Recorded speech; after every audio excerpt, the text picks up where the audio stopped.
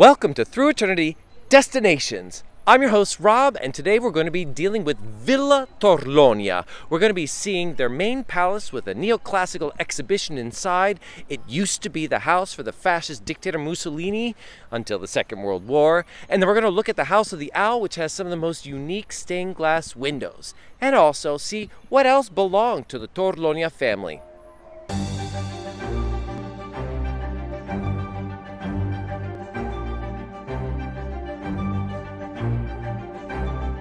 Welcome to Villa Torlonia, so beautiful in the morning sun as it rises up on a slope of a hill surrounded by splendid palm trees.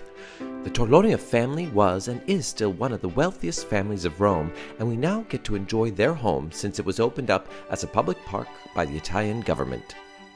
A neoclassical masterpiece preceded by a neo Egyptian obelisk, as with so many things in this magnificent city, almost everything harkens back to the ancient world.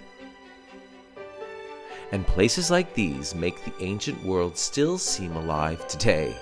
No wonder Benito Mussolini made this his residence in Rome for almost 20 years. Today, the villa house is part of an ancient sculpture collection placed in a true neoclassical setting, where we can see people of the past dancing, speaking, laughing, and crying. I feel so fortunate to have come here. Strolling into the ballroom makes me think a bit of Lady Whistledown writing gossip about the Bridgerton family, and that we would be observing them as Daphne Bridgerton and the Duke of Hastings waltz around the sala. Wherever you look, from floor to walls to ceiling, you are amazed. Could this have been Mussolini's bedroom? Was this his furniture? Wasn't he the person who said either this bedspread goes or I go? Sorry, that was actually Oscar Wilde talking about some wallpaper, but the sentiment matches, don't you think? Alessandro Torlonia loved his parents so much he erected two obelisks in their memory. After Giovanni became in charge of the family, he created many fantastical things in kind of a fantasy land to be created at his whim, creating magnificent and sometimes odd buildings like the Orangery, the Moorish Grotto Tower, and, of course, the House of the Little Owls. This is where Giovanni Torlonia lived when Mussolini took the main palace. To find stained glass windows in Rome is rare indeed, and here we have some of the best that you can find anywhere.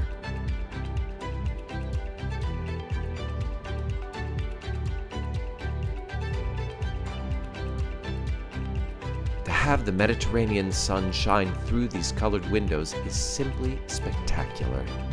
Have you ever visited a place or a home and thought to yourself, yeah, I could live here? Well, this is one of those places for me. Sapienza e solitudine, wisdom and solitude, is written under the owls on the front door of what seems almost like a gingerbread house. It's like a living fairy tale with serpents frogs and owls carved in stone, surrounded by tiny towers and secret pathways and mysterious bridges. Now, let's see some of the other amazing properties that belong to the Torlonia family that are not open to the public but hidden from us almost in plain sight. The amazing Villa Albani, Palazzo Torlonia, and now the lost collection brought back to light.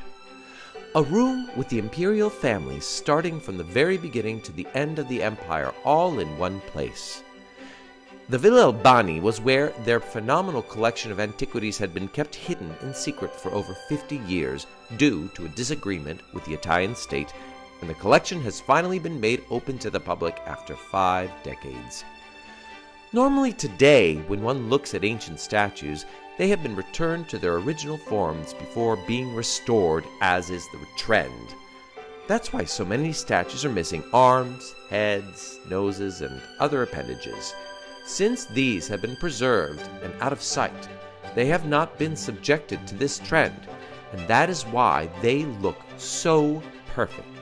This is how people wanted to see their ancient statues when they were from the 1600s all the way to the 1800s, with restorations done by famous sculptors like Algardi and Bernini. He even did restoration work on a goat. The effect is breathtaking.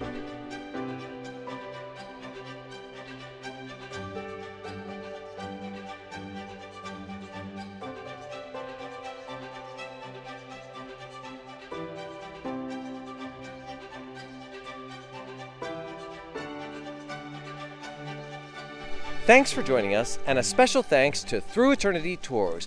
Please remember to like, comment, share, and subscribe if you've enjoyed the video.